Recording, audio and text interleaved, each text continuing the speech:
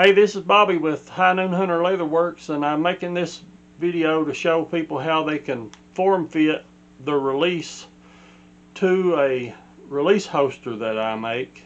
And uh, some people express concerns that they might not be able to do it, that it'd be too hard. But uh, first thing I do is I take your measurements, and when you get your holster, it'll just be like this, kind of flat as a pancake. So uh, the first thing you need to do if you don't want your release to get wet is I've wrapped my release with uh, saran wrap and then I have already popped my release open or my pouch open and I have filled it full of water and I've dumped it out and I've let it set for about five minutes. So now I'm going to do that again just as to demonstrate to you what you have to do. But if you get your pouch wet if water runs down it, don't rub it because if I have used acrylic uh, dye on it, you may rub a light spot in it or rub it off.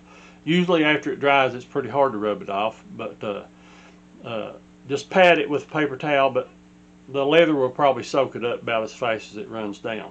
So I'm going to show you. Let me put my camera down here. And so I'm just going to pop it open and lean it backwards. Just fill it up with water to the top and then I'm simply just going to dump it back out. So once I dump that out, I'm going to, what you should do is let, uh, let it drip until you don't see any liquid water on the inside but for purpose of doing this video quicker, I'm going to go ahead and uh, put my release in mine. So your measurements for your release I took for your barrel thumb button to be in the full up position. So this is a little B3 Exit Pro and the hook has to be closed before the thumb barrel can be all the way up because you want your thumb barrel to sit right on this back, right on the edge like that. Now you can, if you want, you can turn it the other way. It just, for me, it would make it backwards about pulling it out. And this little U notch here, I kind of have to do these universal, selling these online without actually having a release on hand, but as you can see, it's still enough room to put your finger there and pull your release out of your holster. So once you get your release positioned in there, then all you got to do is start pressing around it.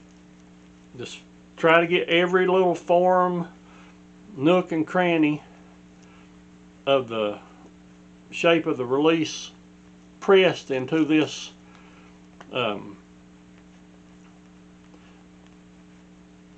into the leather until you can see I'm kind of getting an imprint of my release in the leather now. But if you want to do this in the morning, maybe get up half hour early and do this in the morning, press around on it until you get ready to go to work. Or if you get home from work in the evening and you want to do this while you're sitting watching TV, you can just press around on it and try to get it to take a good shape.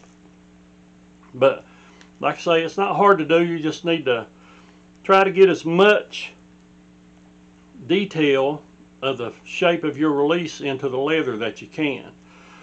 And but once you get enough detail in it that you're satisfied with it, uh, just lay it somewhere while you're going to work. Leave your release in it and let it dry some while you're going to work. It won't completely dry in the first day.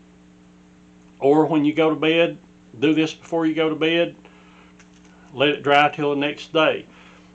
So after about 8 or 12 hours the next day, or when you get home from work, ever how you do it, uh, take your release out and let it dry another 24 hours without your release in it. Once you pull your release out though, don't put it back down in there until it dries for enough for another day at least.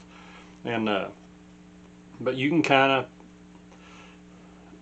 if you have a window you can set it up in or lay it in your car seat while you're in work don't use a hair dryer or anything and try to dry it out but just uh, lay it in the sun in a window or lay it in your car seat or something and it'll dry faster but that's all you do to it.